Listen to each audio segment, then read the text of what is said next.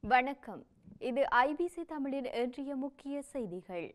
முதலில் தலைப்புச் செய்திகள்.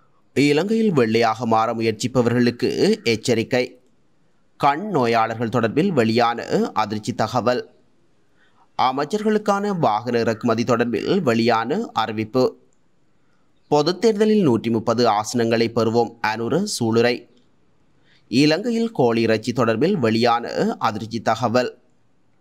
கொழும்பில் இடம்பெற்ற கோர விபத்து வெளியாகியுள்ள மரண விசாரணை அறிக்கை. பணிப்புறக்கணிப்பில் கொதிக்கும் ஆசிரியர் சங்கம் பாடசாலை விடுமுறையில் தொடர் குழப்பம். இலங்கை தமிழருக்கு தமிழீழம் பிரதமர் மோடியிடம் மதுரை ஆதீனம் கோரிக்கை.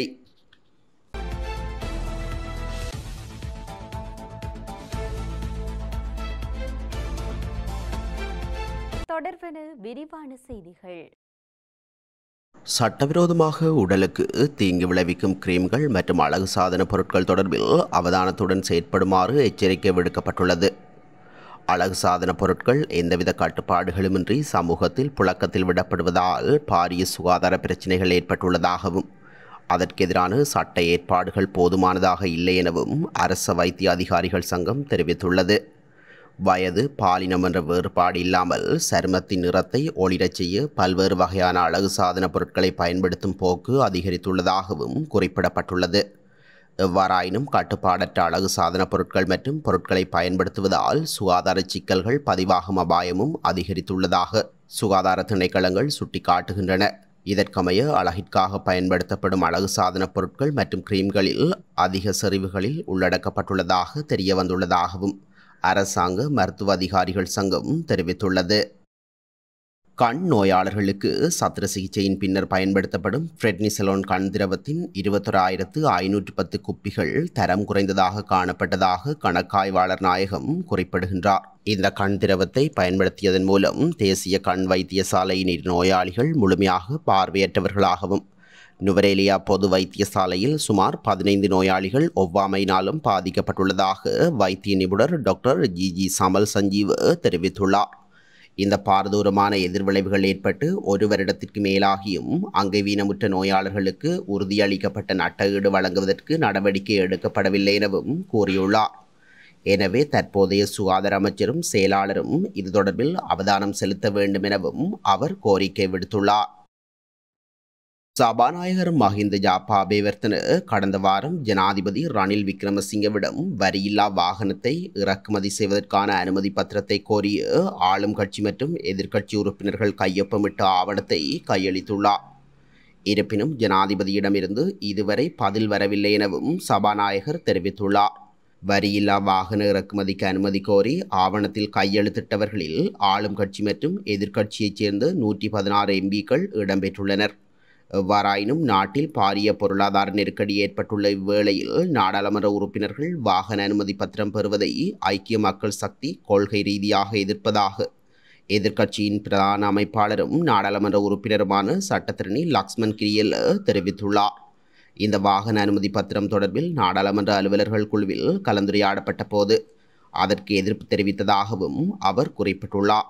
எம்பிக்களுக்கு வரியில்லா உரிமம் வழங்க வேண்டும் என்ற கோரிக்கைக்கும் நாடாளுமன்ற உறுப்பினர்கள் குழு ஒப்புதல் அளித்துள்ளது.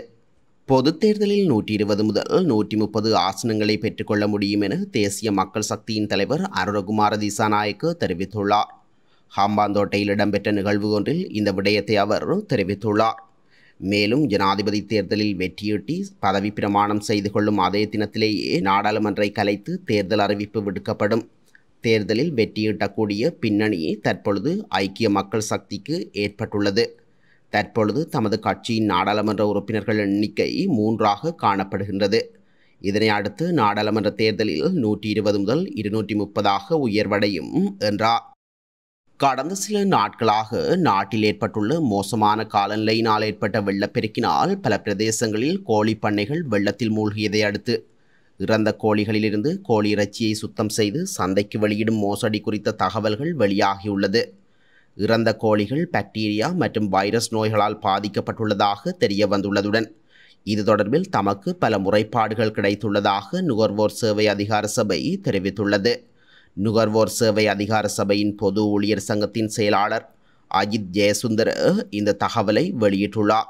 சாதாரண ஆரோக்கியமான கோழி இறைச்சி வெள்ளை நிறத்திலும் வெள்ளத்தில் இறந்த கோழிகளின் இறைச்சி சிவப்பு நிறத்திலும் இருப்பதால் நுகர்வோர் அவற்றை அடையாளம் காண முடியும் என்று ஜெயசுந்தர் குறிப்பிட்டுள்ளார். இதன் காரணமாக கோழி இறைச்சியின் நிறம் தொடர்பில் மக்கள் அதிக கவனம் செலுத்த வேண்டும் எனவும் ஒப்பீட்டளவில் குறைந்த விலையில் இவ்வாறான கோழி இறைச்சி விற்பனை செய்யப்படுவதாகவும் அவர் மேலும் குறிப்பிட்டுள்ளார்.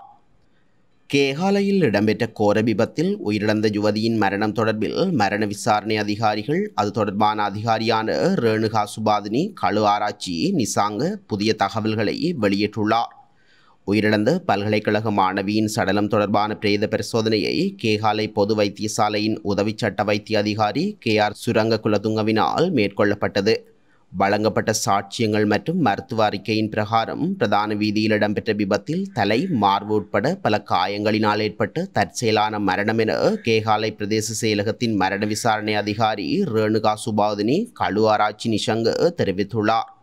உயிரிழந்த பல்கலைக்கழக மாணவியின் இறுதிக்கிரியைகள் நேற்று ராம்புக்கனையில் இடம்பெற்றுள்ளதாக உறவினர்கள் தெரிவித்துள்ளனர்.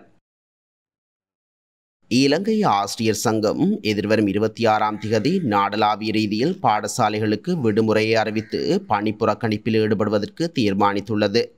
ஆசிரியர்களுக்கான சம்பள முரண்பாடு காரணமாக இந்த தீர்மானம் மேற்கொள்ளப்பட்டுள்ளதாக சங்கத்தின் பொதுச் செயலாளர் ஜோசப் ஸ்டாலின் தெரிவித்துள்ளார். இந்த நிலையில் அந்த நாளுக்கான பாடசாலைகளின் கல்வி நடவடிக்கைகள் தொடர்பில் கேள்வி எழுந்துள்ளது. அதிபர் ஆஸ்திரியர் சம்பள முரண்பாடு தொடர்பில் நிதி ராஜாங்க அமைச்சர் ஷெஹான் சேமசிங்கவுடன் இடம்பெற்ற பேச்சு தோல்வியடைந்துள்ளதாக ஜோசப் ஸ்டாலின் தெரிவித்துள்ளார்.